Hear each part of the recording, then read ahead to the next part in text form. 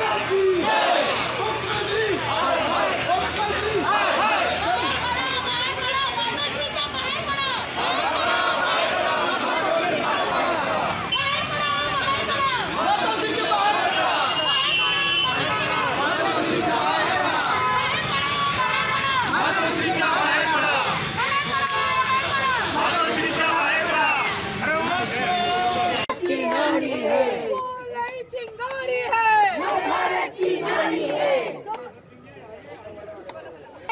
करे।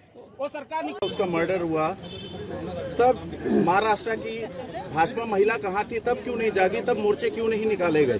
जी ऐसी कोई बात नहीं। वहाँ के जो हमारे नेतागण है उन्होंने उस पर एक्शन लिया हुआ है और उस पर कार्रवाई हो रही है।